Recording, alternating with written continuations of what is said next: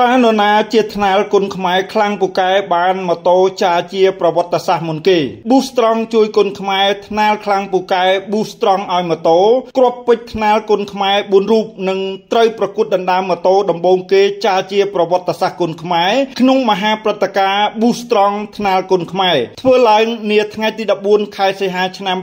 2024នៅស្តាតចាស់រាជធានីភ្នំពេញចាប់ពីម៉ោង7យប់តទៅ Boostrong ជាក្រុមហ៊ុនភេទជ្ជៈបើកម្លាំងដំបូងគេ ដែលស្រឡាញ់គុណខ្មែរជួយគុណខ្មែរពិតប្រាកដដោយហ៊ានបង្កើតមហាព្រឹត្តិការណ៍ចាជាប្រវត្តិសាស្ត្រគុណខ្មែរដោយដាក់ឡានជាច្រើនគ្រឿងឲ្យគុណខ្មែរប្រកួតដណ្ដើមហើយឥឡូវនេះ Boostrong បានបង្កើតប្រវត្តិសាស្ត្រថ្មីបន្តទៀតគឺជួយថ្នាលគុណខ្មែរដាក់ម៉ូតូថ្មីឲ្យកីឡាករថ្នាលប្រកួតដណ្ដើមមិនធ្លាប់មានពីមុនដើម្បីជួយឲ្យធនធានគុណខ្មែរកាន់តែរីកចម្រើនលក្ខខណ្ឌប្រកួតដណ្ដើមម៉ូតូពី Boostrong មួយកីឡាករថ្នាលពីររូបដែលមានសារគ្រប់គ្រងច្រើនជាងគេនឹងត្រូវប្រកួតគ្នាដណ្ដើមម៉ូតូពីរលក្ខខណ្ឌពិសេសបើកីឡាករថ្នាលផ្ដួលដៃគូបរទេសឲ្យសន្លប់លឿនមុនចាប់ទឹក មានអត្តភាពឡើងប្រកួតដណ្ដើមម៉ូតូ3សូមបោះឆ្នោតគ្រប់គ្រងកីឡាករថ្នាលដែលខ្លួនពេញចិត្តដោយសម្គាល់លេខកីឡាករថ្នាលមក Facebook Page Boostrong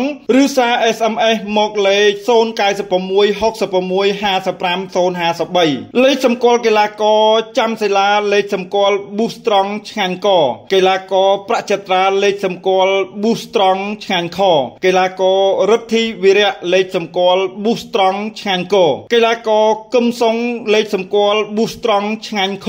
បងប្អូនកុំភ្លេចបោះឆ្នោតនិងចូលរួមទស្សនាឲ្យបានច្រើនកកដើម្បីលើកទឹកចិត្តកីឡាករថ្នាល់និងចូលរួមជួយធនធានគុណខ្មែរឲ្យកាន់តែរីកចម្រើន Boostrong ជួយថ្នាល់គុណខ្មែរស្រឡាញ់ថ្នាលគុណខ្មែរញ៉ាំ Boostrong